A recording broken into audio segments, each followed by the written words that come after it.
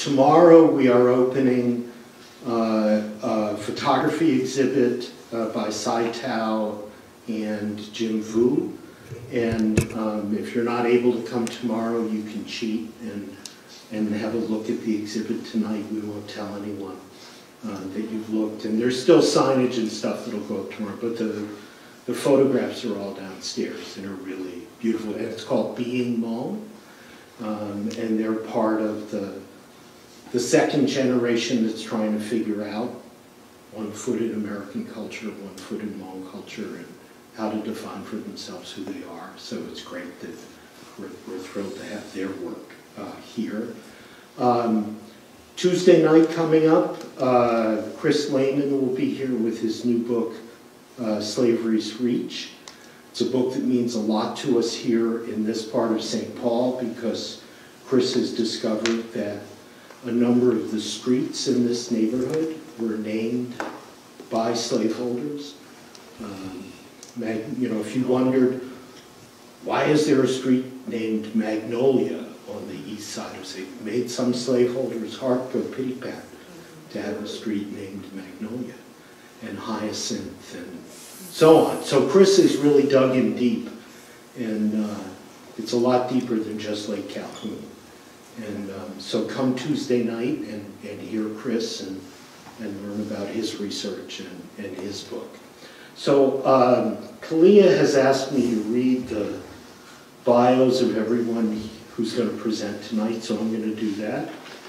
Um, I learned long ago that it's wise to do what Kalia suggests, so you can't go wrong.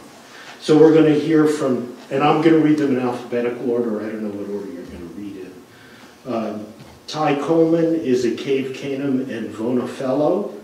Um, her writing has been published in Bum Rush the Page, Riding Shotgun, The Ringing Ear, Blues Vision, which many of us know, uh, How Dare We Write, a multicultural creative writing discourse, and A Good Time for the Truth, Race in Minnesota, another one that many of us know. Um, Mapping Our Potential, a poem as a spatial and temporal mapping of human experience is her TEDx talk. Her book, Working Towards Racial Equity in First Year Composition, was published this year, and she's an assistant professor of English literature at St. Kate's uh, here in St. Paul.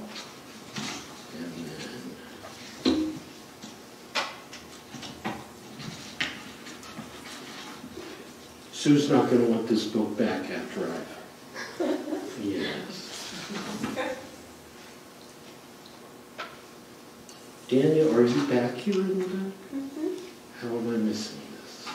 Real short. It's real short? Oh, in the eight hours for what we will, my sister from the labor movement, Dania Rajendra prefers to argue politics while knitting something deliciously complicated and drinking something velvety.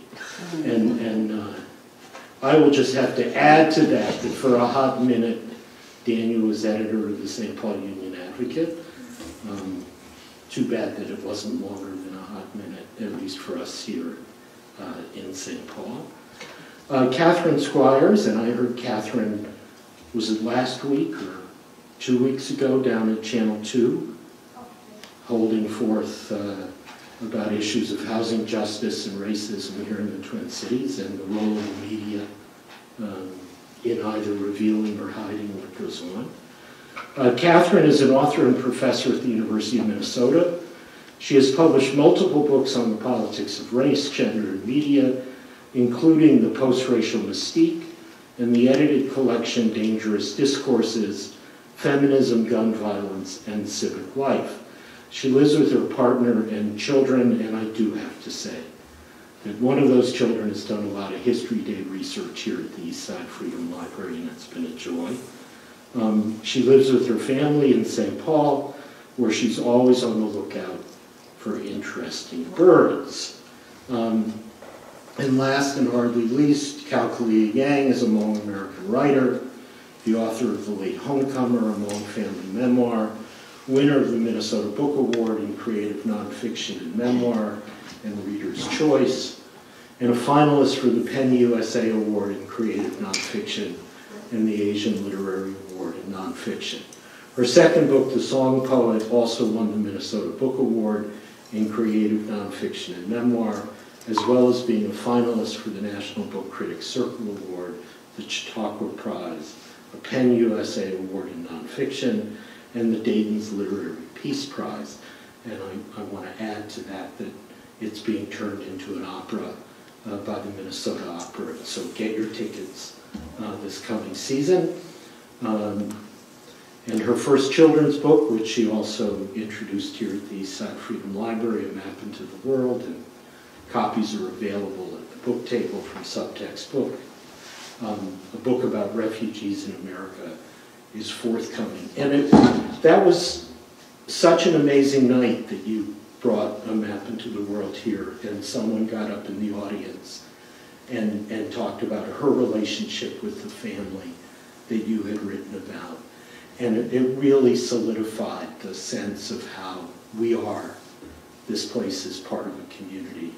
And it's so great that Kalia and Aaron and the kids have moved back to the east side and are part of the community too.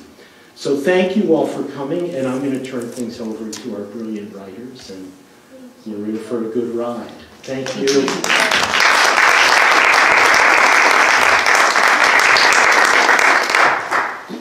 If it's okay, I'm going to put this down. It's kind of high to me. Is that okay? Yeah, that's perfect. How's everybody this evening? Good. Okay, good, good. You're responsive. That's good.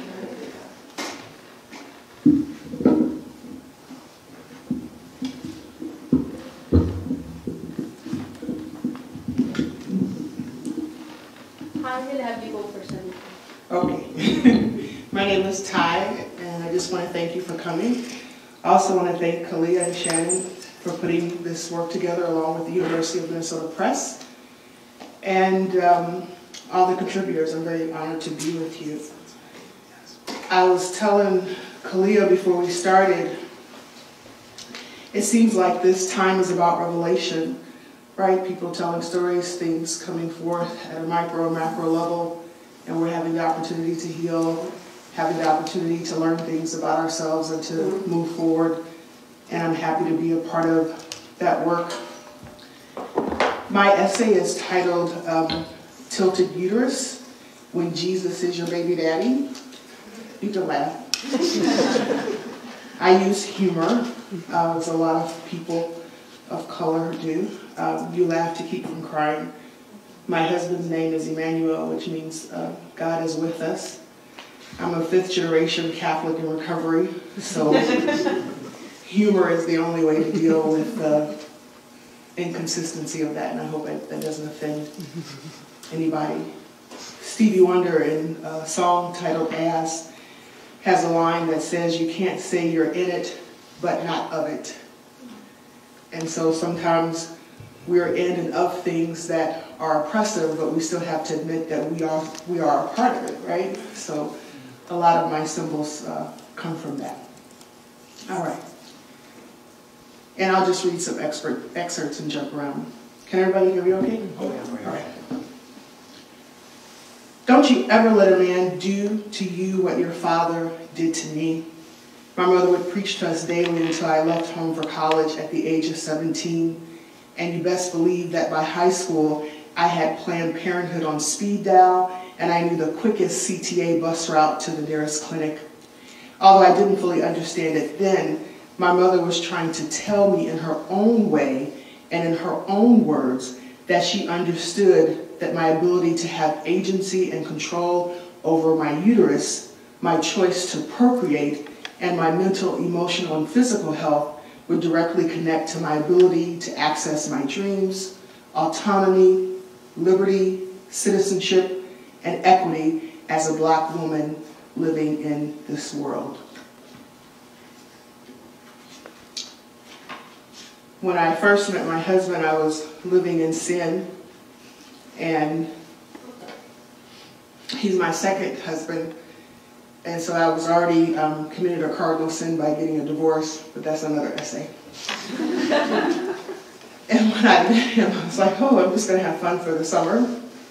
And um, here I am 20 something years later. It was the summer of 2000 and my pregnancy was considered high risk because my OB-GYN diagnosed me with uterine fibroids. I woke from a deep sleep feeling period-like cramps in my stomach and my mattress was shaking. I slept that night with my head at the foot of my bed, which both my well-mannered grandmother and superstitious grandma would not have liked. Grandma always said that you should never sleep with your feet closer to your bedroom door than your head. She said it was very rude to let the bottoms of your feet be the first thing that greeted the spirits if you were so lucky to be graced with a visit from the dead during the night. Sleeping with my head at the foot of my bed was the only position where my pregnant body could feel the muggy August Iowa air being pulled into the hot, humid basement apartment by my cheap Walmart window fan. At almost 20 weeks pregnant, the smell of everything made me sick. It seemed that I could smell and taste someone eating a banana from a mile away. My boyfriend with Jesus' name was working the night shift at Krispy Kreme and wouldn't be home until well after midnight. When Emmanuel came home from work, I regularly made him take off his uniform and shower before he was allowed to enter our bedroom. He and his work clothes reeked so bad that I was convinced that he was just getting paid for mixing and frying sugar and shit, glazing it, and selling it as donuts. that night, I thought the bed moving was him, but I sniffed and didn't detect the DEFCON odor. I knew he wasn't home yet, and that I was alone. I assumed that the mattress shaking was nothing and happily closed my eyes into more funk-free sleep. The bed shook again, and I looked to my right toward the bedroom door, my eyes open to a pair of knees covered in chocolate brown slacks.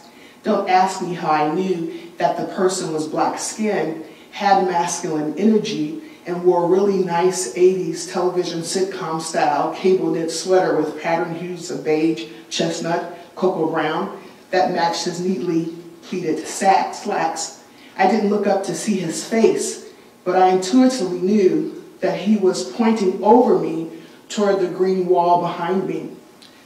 I turned away from the pointing man to my left and faced the wall and saw nothing but the rotating shadows of the street lights reflecting from the window fan.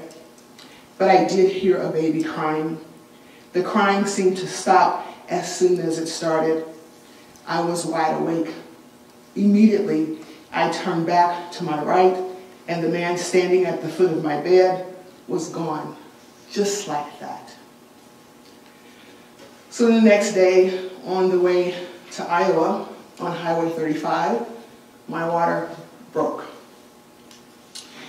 And um, by the time I went to the doctor, they thought it was a possibility that the sac could inflate again with fluid, but that didn't happen. So they observed me for a week and that I had the option um, to give birth or for them to do a D&C, and I lost the girl. So I'm pregnant again, and we are in Minneapolis now. And as you can tell, I have a thing for dead people. And at that time, I was a big fan of Sylvia Browne, and my poor husband, he kind of understood what came with me. She was alive during this time. She was speaking in St. Paul, so of course we had to go see her. Sylvia Browne, and can I just say the editor didn't know who Sylvia Browne was when they were editing? I'm like, what? You don't know who that is? Y'all know who Sylvia Browne was? Yeah. Okay, rest in peace. Sylvia Browne, a prominent psychic, was scheduled to come to the Twin Cities in 2001. And unbeknownst to Emmanuel, I splurged and bought tickets for us to see her. Pregnant again, I was about 20 weeks along, and we were living in an apartment in South Minneapolis. We were both working and in school. The arena where Sylvia Brown was speaking was full to capacity, and Emmanuel and I were seated on the main floor in the back. By the time we had been together for over two years, he was used to my fascination with spirits Plus, he was named after Jesus, so how could he not be as well? That night, Sylvia Browne held a lottery for all the ticket holders to choose what lucky ones would get to go to the stage to ask her a question directly. I was not one of the lucky ones. I had two chances because Emmanuel told me that he would, give, he would have given me his ticket if his number was called. I told, I told y'all he was sweet. That's why I ended up marrying him. anyway, Browne led the entire auditorium through a guided meditation, and she advised everyone to individually ask in their heads the question that we would like our higher power, in my case, God, universe, to answer for us. Will my baby make it past 25 weeks? Will my baby make it past 25 weeks? Please, God, will my baby make it past 25 weeks? I kept asking this question over and over again in my head like a mantra, a prayer. Although these questions were a part of my guided meditation with Sylvia Browne, in that moment in the auditorium, there in St. Paul, sitting next to Emmanuel, this question had been my obsession since we found out that we were pregnant again. The guided meditation with Sylvia Browne ended. I felt refreshed and Emmanuel and I drove back to our basement apartment in South Minneapolis. That night, I was awakened again by someone shaking the bed. We had graduated to a full bed, and I was lying flat on my back, and my right side was on the edge. I looked to my right, and there was that same black man with the brown pants and sweater that I first saw in the summer of 2000. He had returned. But this time, he was not alone. There was someone standing next to him to his right, dressed in a glowing white robe like a Roman toga. Again, I seemed not to lift my eyes high enough to see their faces. The person in the white robe had an open book in his hand, and he lifted his right hand and he pointed directly to my stomach, while the black man in brown looked at the man in white. The black man in brown then jumped into my stomach, and my whole body shook and vibrated from my tummy throughout my entire frame, and a feeling of complete peace and knowingness fell over me.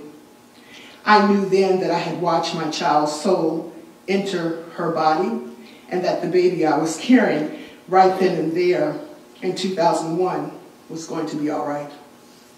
I looked to my left and saw that Emmanuel Jesus had slept through the entire thing. I realized in that moment that back when my bed shook during that hot, muggy August night in 2000, my daughter's spirit had come to tell me, Mommy, not yet. She was letting me know that it wasn't her time, but trying to explain to me that she would return. And on that night in 2001, her soul did just that. As badass as I pretended to and wanted to be, I decided that I couldn't be a fifth generation recovering Catholic with a Catholic baby daddy named Jesus and not get married.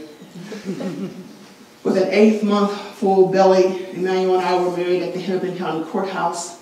My baby brother Ronald and my sister with her heart-shaped uterus, because I have a tilted uterus, she has a bicuspid uterus, which is shaped like a heart. I know it's all kind of messed up and she had two children. Um, my sister with the heart-shaped uterus stood as a witness. Our daughter was born 33 days later at 9 pounds and 21 inches long. I prayed during my 12 hours and 17 minutes of labor that I would see my mother who had died in 1997. I didn't. And I named my daughter after her anyway. Thank you.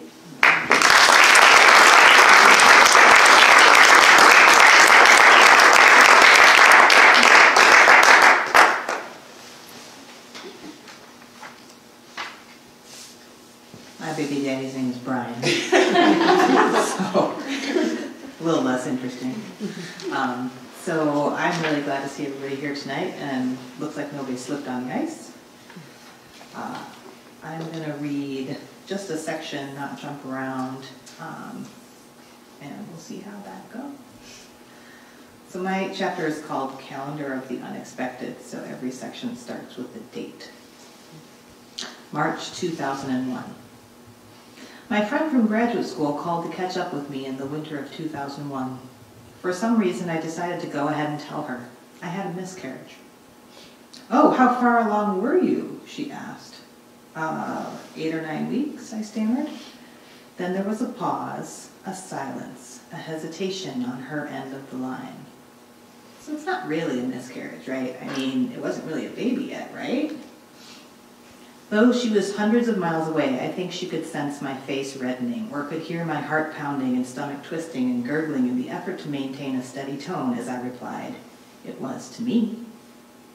I remember sitting there in the straight back dining room chair, looking out the floor to ceiling windows of the home we were renting. It was a modernist retreat in a small wooded development with its own human engineered lake near the banks of the Huron River. It had become my escape from the office, from well meaning people, from the hospital. Looking out at the slim branches and trunks of the pine and birch and hemlock trees for hints of nuthatches, downy woodpeckers, and chickadees clinging to the bark, chirruping and honking in the gray light on their quest for insects, keeping me company, keeping my mind occupied until Brian returned from work on the winding river road. A few weeks before her phone call, I am lying on the exam table, cramping my neck to look at the sonogram screen. The gynecologist taps on a gray circular form. You see right there, blighted ovum. The gynecologist withdraws the sonogram wand and begins, expl- begins explaining what will happen next. Over the next few days, or possibly weeks, when my uterus expels the blighted ovum, the non-developing fertilized eggs, the blob of cells that has ceased dividing and complexifying and growing. She pushes her stool away from the table, tosses her gloves into the waste can, and goes to the sink to begin washing her hands. All the while, she continues explaining what will happen to the blighted ovum. It will detach from the blood-rich uterine wall, hormones will trigger contractions, and it will be pushed out, discarded, disposed.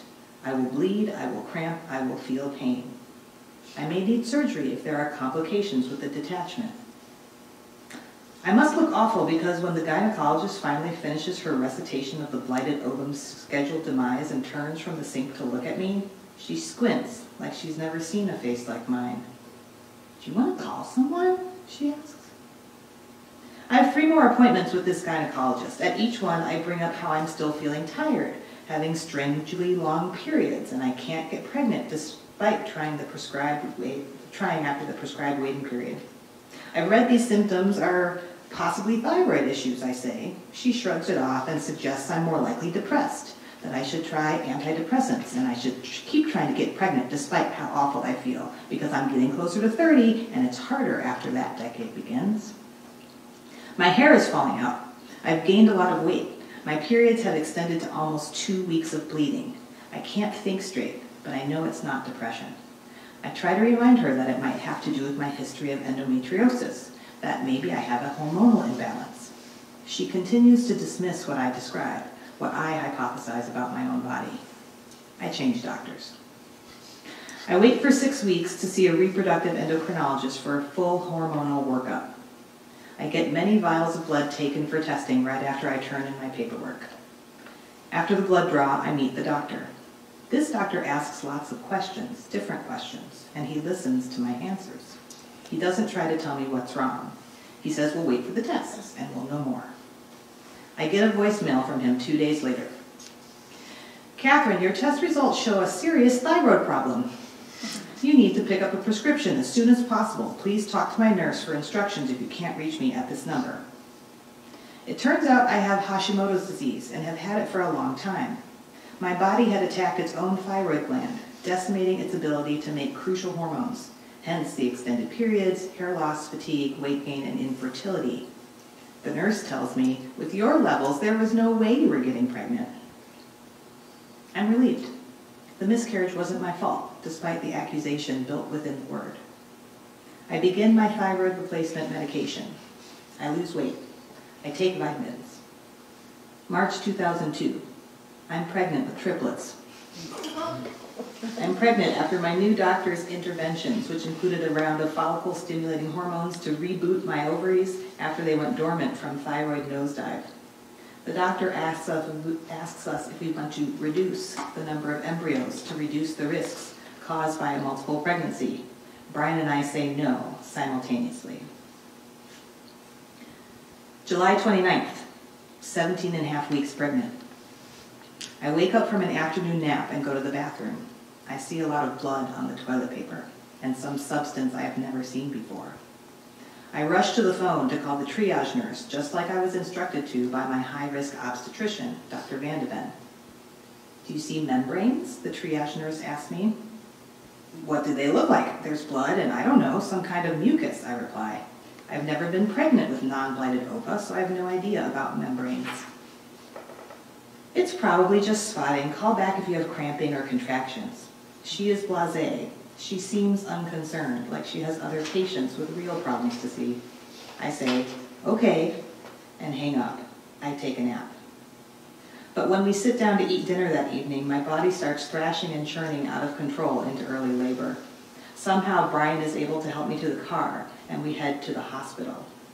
By the time we get to the hospital, my cervix is dilated two centimeters, flat and open. The amniotic sac of one of the three children is sagging into the opening. I had seen membranes that afternoon, after all. The attending physician goes to page my obstetrician. Dr. Vandeven comes in and asks us to discuss if we want to try to preserve the pregnancy or terminate it now at 17 weeks. He gives us a 10% chance of survival for the triplets. Brian and I reply, preserve the pregnancy, simultaneously, before Dr. Vandeven can even leave the room to give us time to talk in private. This is what happens to you when your cervix opens up too early and you want to try to save the fetuses inside rather than terminate the pregnancy. You get put on a bed, tilted head down at 5 to 10 degrees to take pressure off the cervix and ease the placenta back inside. You get drugs to stop contractions. You get a large IV shunt attached to your veins for antibiotics to stave off infections and for fluids to stave off dehydration, which can bring on more contractions. You have a catheter inserted because you can't get up to pee. You lie like this for many days until the doctors think there's a chance to place a cerclage in your cervix to sew it up to everything inside. So I lie upside down on my back, hooked up to tubes and needles and monitors for days. My world was officially off kilter. I was literally on a different axis than the rest of the maternity wing, on another plane, like the diagrams of vectors moving through three-dimensional spaces in the math books Brian used to prepare for teaching undergrads. We had to create our own map of this world, setting up a routine in an upside-down environment. Hmm.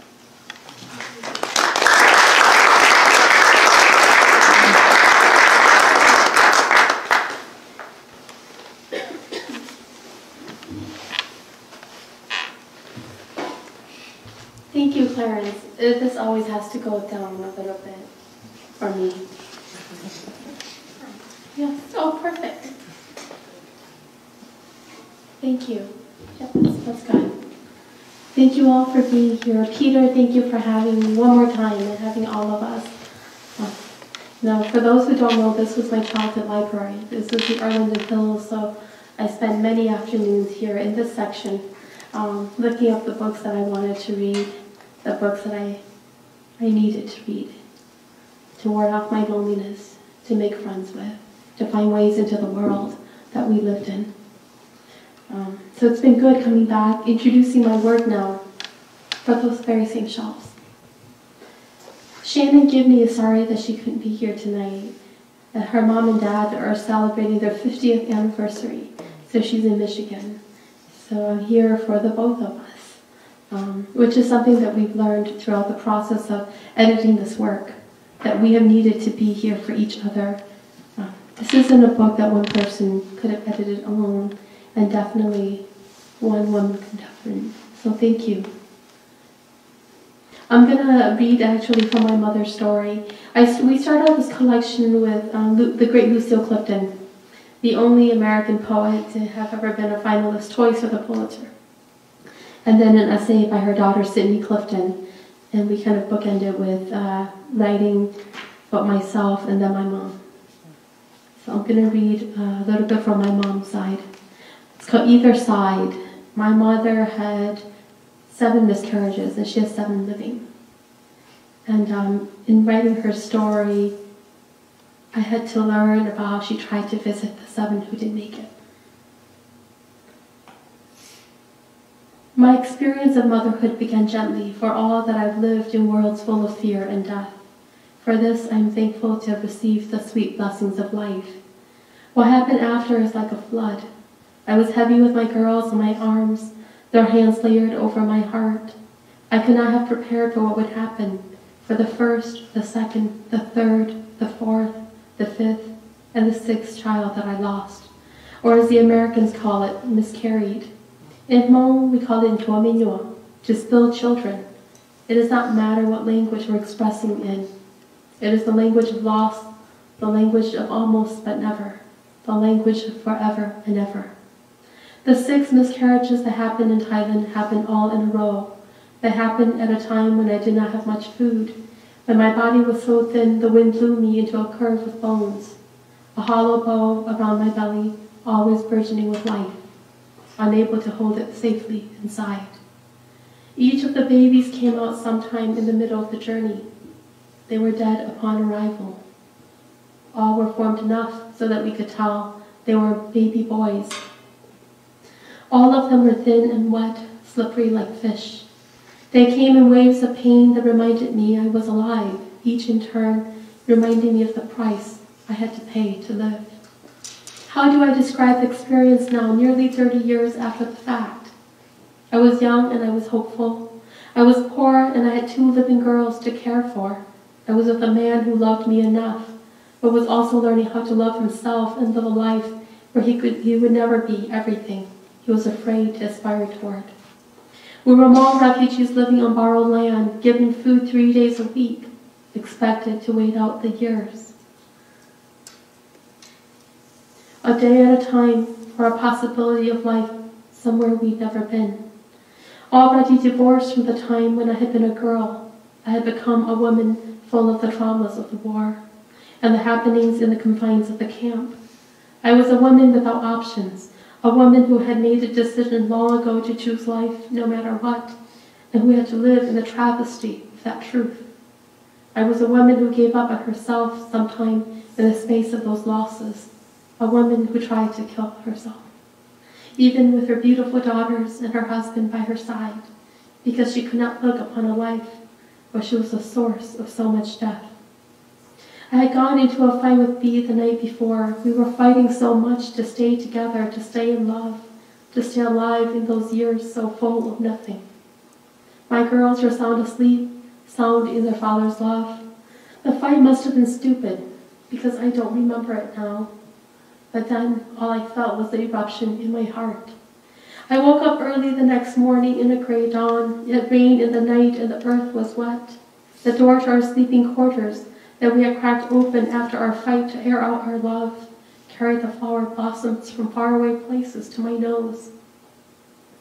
In the gray, I saw my husband, his arms stretched across the bodies of our sleeping children, a cover against the night, the cold, and the camp. In the early morning, I put my cold feet on the damp earth and I slipped them into my flip-flops. Outside, most of the camp was still asleep. The early roosters crowed their morning calls. Hungry dogs lurked in the shadows between the houses. I knew only the early morning merchants were up and on their way to the camp market. I knew that at the camp market they sold packets of pills that fizzed in the water. The pills were used to clean silver, silver that I didn't own. Silver like the traditional Hmong necklace that my mother had given me when I married B, a prized possession that I lost in the Mekong River on the night of our crossing because I held tighter to my child than the token of my life is another's. As I walked to the water jar near the landing of the share patio to brush my teeth, comb my hair, I was quiet and dreamy. My steps were unsteady on the stairs. They felt weak. I had just had a miscarriage the week before. Which one? I no longer know. All I recall is that I felt pale, bloodless, and cold. The cold was something I carried in my heart. At the water jar, I brushed my teeth with the cold water, washed my face with a wet towel, and combed my long black hair with a plastic comb. I secured the thick strands in a bun at the back of my head with a hair clip. Then I stood very still. I waited for a few minutes for some other family members to get up, to hear perhaps thee call out my name or one of my daughters murmur for me in her sleep. But that morning there was nothing but the quiet of a world that would continue with or without me. I could see the grave mounds of Hmong people on the faraway hills, the men and the women and the children who had died naturally, died from sickness, or died because they had killed themselves. Bare places among the green grass. It felt to me that they were the only ones at home in this temporary place, the ones who weren't leaving, the ones who would defy the governments of the world who had told us that we were refugees, that we belonged to no nation, that we were people floating far in the hopes of finding a home. I smiled at the defiance of the dead.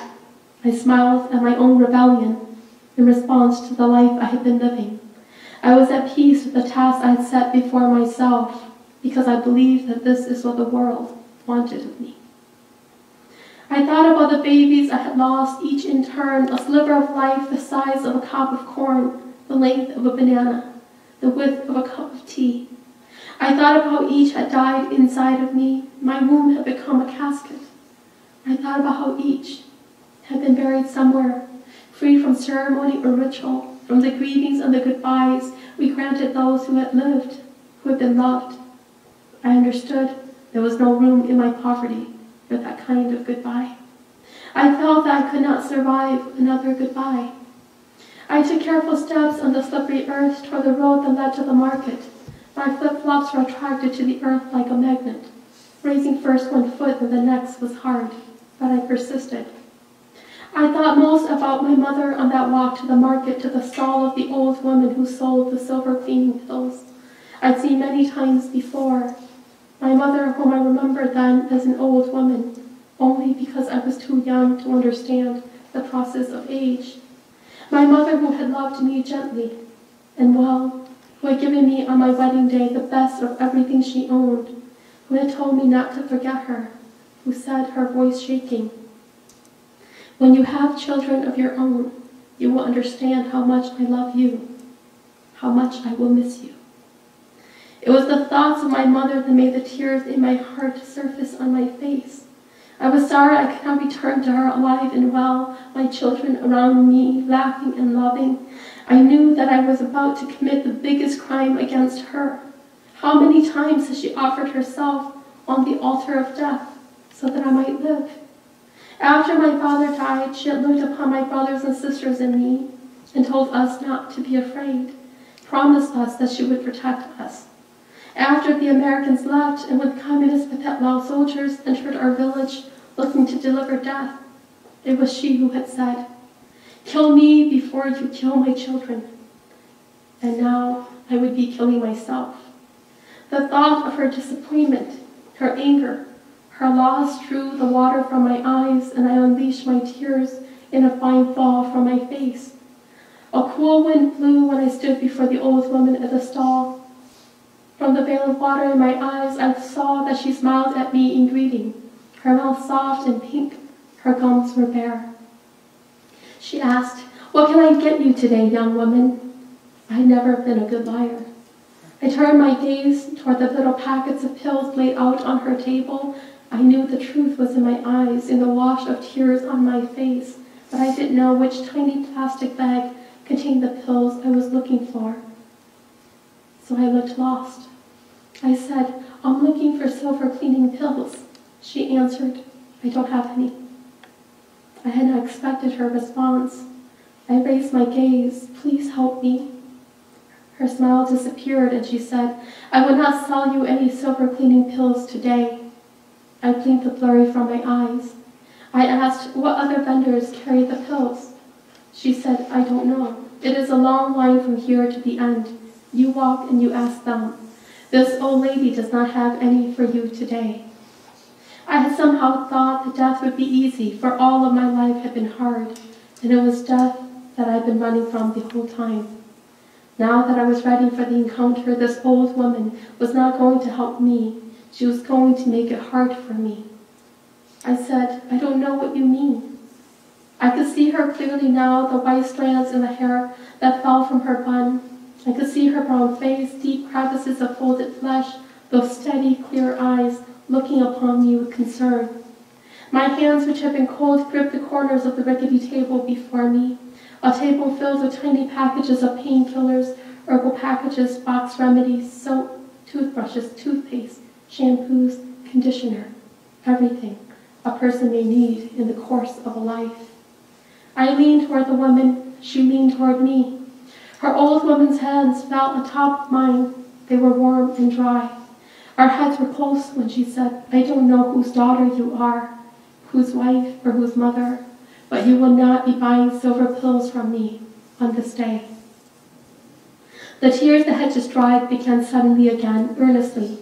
The rain that had drizzled on the walk became a storm of liquid I could not control. My throat clamped. My hands fisted in a last effort at control in the holds of her hand, her brown fingers tightened over mine. Her voice gentled. I would not let anyone else sell you silver cleaning pills today either. I pulled my hands free. I said, You can't do that. I wiped my tears and I turned from an offer that was not lost on me. She didn't look like my mother, she reminded me of her. Years after, I can still hear her call after me as I made my way away from her table. Means I. I was not her daughter. I could never be. I walked, tears falling free from one vendor to the next, asking for silver cleaning pills, feeling her gaze on my back the whole time. I defied her the way I used to defy my mother.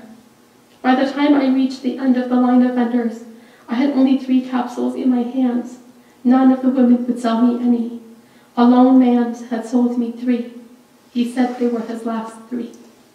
Beside a grove of sugar cane in a corner of the camp, I sat by myself on a flat rock. I did not want to be found dirty and wet, just dead. I had nothing to drink the pills down with. I had become too emotional. I wiped the tears from my eyes. I redid my bun at the back of my hair, cognizant that the early morning had left. And if I did not hurry, I would be found before the work could be done. I walked back to the market in a hurry. The slippery mud clung to my flip-flops. The romance of the morning was gone. I was suddenly exhausted. In my exhaustion, I fell. I lost one of the pills in my hands. When I got myself up, I could feel the wet of my sarong clinging to my legs. I had no more patience for me. I walked to the vendor with the drinks, the my flip-flops a mess of mud, and bought a sweet drink, one of those syrupy drinks that my children liked, the kind that came from a plastic bag with a straw tucked at one end. On my way back to the sugarcane grove, I, drawn, I downed the drink and the two pills I had left. I sat on the rock. I raised my legs and I got my arms around my knees and I laid my tired head to rest. I understand that a child came upon me first and screamed. B said that he had been looking for me, that red earth had given him a clean track to follow. I wasn't meant to die that morning. B said when he heard the child scream in fear, he was already close. By the time he got to me, there was the fizz coming out of my mouth. My eyes were rolled back. I toppled on the ground. I woke up at the camp hospital. I heard the swirl of the fan over me. For a moment, I thought I had another miscarriage. Another child had spilled from me. B was where he usually was, sitting beside me, his head in his hands. I closed my eyes again because I did not want to talk or to be talked to. I felt very much my own childishness then. I was in my early 20s. I was shy and embarrassed. I pretended to be unconscious for much longer than I was, but I could not pretend forever. Soon enough, I had to ask about my children, not the ones who had died, but the ones who were alive. Soon enough, I had to hear my husband's cries and my own in response, first halting and quiet, and then loud, full of the ache inside of me. Soon enough, I must have gone pregnant again, and soon enough, I must have had, I must have lost the next baby and the next. I'm gonna go to the back. we came to America. My mom gave birth to three living children, and then she had another miscarriage, and she said it was the hardest of them all. And this is what happened after. What happened after, despite the fact that this time we were in America and all those other times we were in the refugee camps of Thailand, was all too familiar.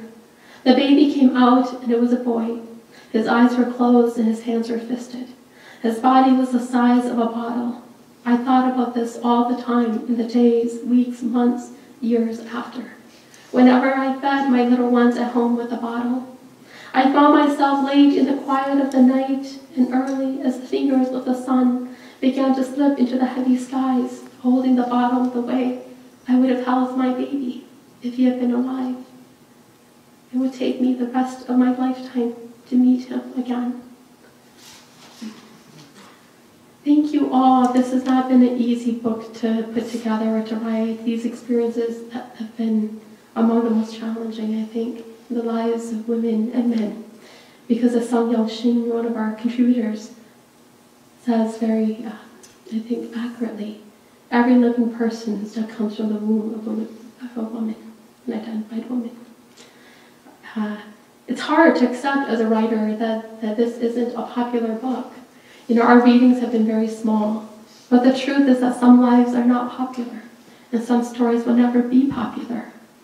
They're just important and they're just necessary. And they're just the reason why some of us hold on and continue on for the hopes of those who will come. So thank you all for being here for this unpopular but most necessary work.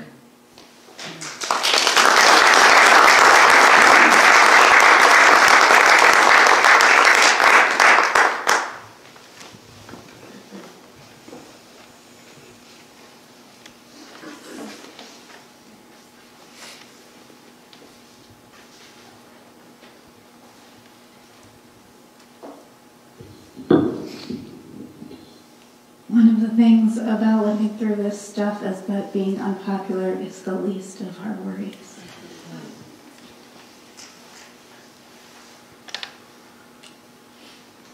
It is a great honor to have my essay included in the collection in this book. Um, and it is a great honor to have it found its way there through the intervention of Peter Rachleff. So, um, am full of gratitude to be here today.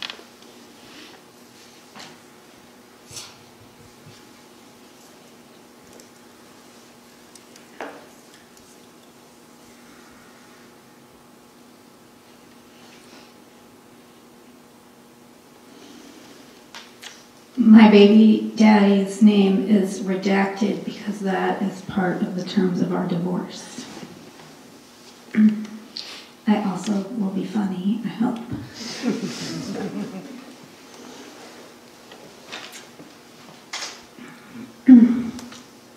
I discovered, much to my shock and chagrin, that I wanted a baby of my own in the back of an auto rickshaw. It was June 2008. It was sunny, warm, comfortable as it usually is in Mysore, India. I sat in the rickshaw with my cousin and her two year old, which by Indian familial logic makes her my niece. I'm Indian on my father's side. He immigrated in 1970. I'm Jewish on my mother's. She's from the Bronx. I visit my family in India often, and as my cousin and her daughter and I bumped along in the sunshine, the reddish dust, deforestation is but one legacy of British colonialism puffed around us, mixing with the diesel exhaust. My knee snapped against me, her squishy body slowly turning solid as she passed from dozing to sleeping. I held her tightly enough to keep her inside the moving vehicle, loosely enough so she could sleep undisturbed. I can no longer remember where we were going or why. I just remembered a new need crawled out of my heart and took up residence in my solar plexus. I had to remind myself to breathe. It's a good reminder. We should all take a breath. That June, I was six months into my first marriage. My husband and I had shared an ambivalence about whether we wanted children. We were leftist activists.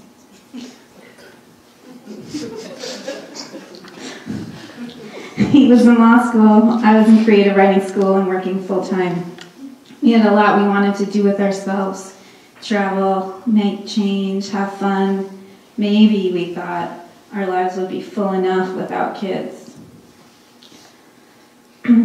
My husband and I agreed we'd start trying. He'd be almost done with law school. I'd be turning 30.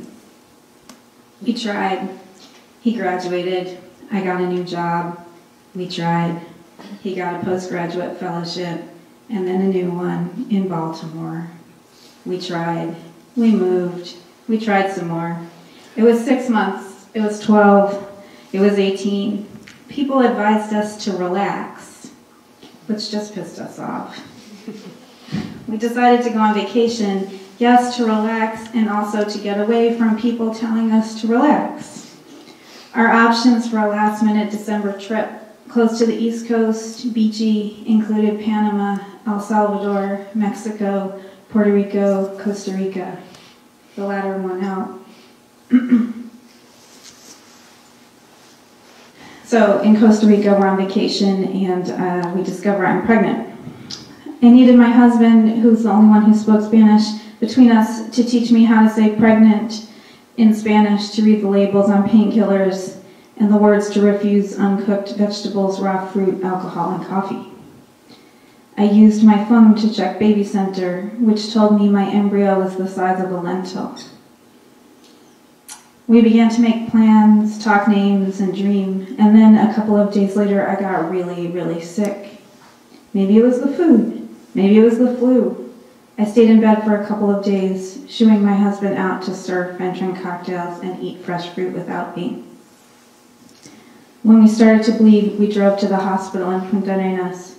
Even though it was my husband who spoke Spanish, it was me who made sense of the words from the doctor. Trompa de falopio, ectopico, emergencia. The doctor made sure to explain to us that it wasn't an abortion because the present pregnancy wasn't viable. Viable is the same in English and Spanish. What he said was, it's not a sin. He said it over and over again. Neither of us told him I was Jewish, feminist, not Catholic. Neither of us told him we're for, uh, we're for abortion on demand without apology. Neither of us told him much of anything. Because we were Americans with good health insurance and a healthy credit card limit, we took the calculated risk the doctor recommended. Drive to the capital for laparoscopic surgery at the private hospital. Go now, he told us, and don't stop for any reason. He said that repeatedly in Spanish and then in English. Don't stop for any reason. If my tube burst, I could hemorrhage to death in the car. But you should be okay. It was the middle of the night. The next day, we make it. The next day, a surgeon removed my lentil-sized embryo and the fallopian tube it was stuck in. Left to grow, the embryo I had wanted so badly to be my first child would have killed me. As a person of Indian descent, I'm familiar with lentils, of many kinds and all sizes. Fresh, dried, whole, split. Even now, 10 years later, when I wash lentils, I pinch the thin discs between my fingers and marvel that the tiny potential of a person can be packed into such a small package.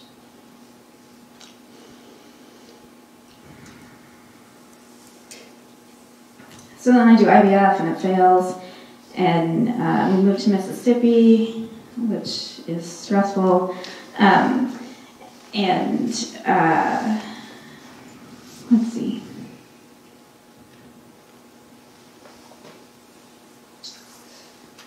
My Christian in laws called often with positive thinking, encouraging voicemails. It wasn't their fault, but it pissed me off. I found myself holding the rational positions about the unlikeliness of its success. IVF, IVF cycles fail 60 to 80% of the time was a bulwark. The faith that comforted my in laws, my neighbors, the people on the internet, it grated on me. I began to dig into Jewish texts to understand what the teachings offer about what embryos are and how to make sense of bad luck in general. I began to bake challah on Fridays. It felt like the only way to find a space to live like a person, as the Yiddish expression has it. It's not unusual for infertility to strain a marriage. It's common that infertility makes people feel lonely. My first husband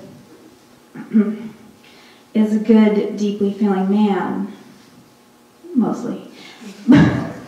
But we were mired in our own very different experiences, our own childhoods, our own cultural and personal ideas of what it meant not to be able to conceive and what it meant to lose embryos.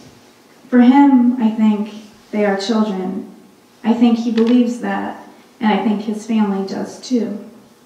When he called my father in law from Costa Rica after the surgery to share the news that I had been pregnant and was no longer, my father in law said, For a little while I was a grandfather.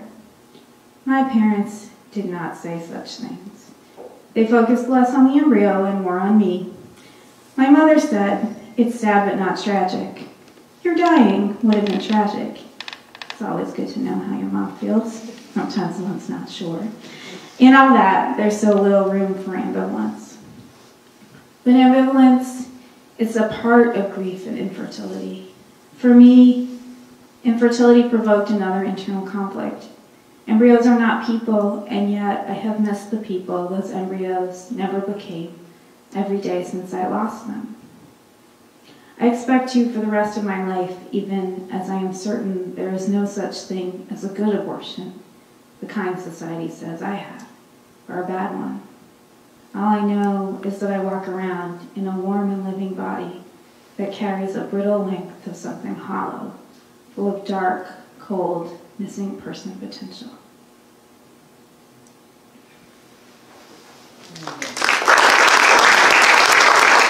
Um, Those of you know me know that I spend my days building the solidarity we need for the world we ought to have.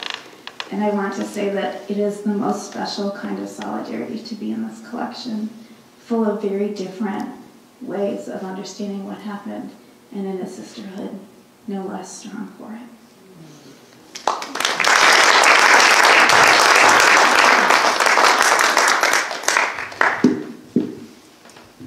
I think we have time if anybody has uh, any questions. And the Subtext is here to, um, to sell books if anybody's interested, and we're all happy to sign. But yeah, if anybody has any questions or comments, um, please. And, and I can choose to stand up as, as we see fit.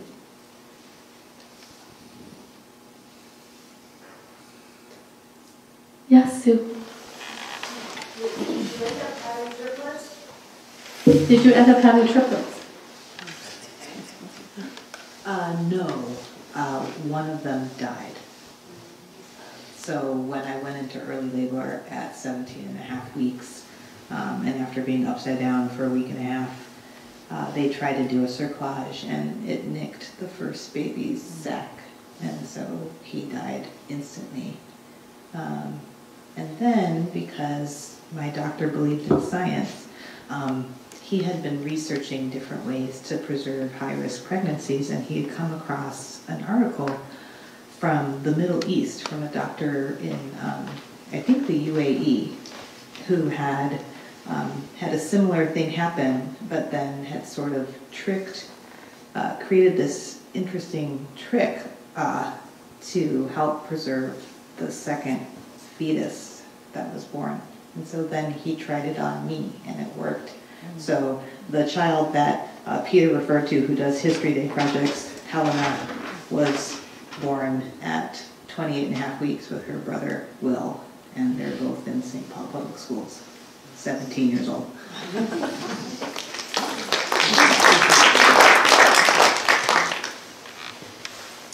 Anyone? No? Yes? This is my second time hearing the stories, and I liked how you said that we were all born. And um, I just had this remembrance of what it was like to be a home birth mother and to hear birth stories after birth stories and uh, the things that can go right, the things that can go wrong. And I think that uh, this program just makes us all more human, and I love the fact that the men are here. And uh, yeah, so this is good work, and I feel like it's sacred work. Thank you so much. Thank you. Thank you all for being here with us. Um, again, if you'd like to talk, or we'll be in the back and we can we can talk more. And there's hot water for tea. Thank Don't you, be in a rush to go. And then there are the pictures downstairs that I myself will look at. Thank you all. Thank you all. Yeah.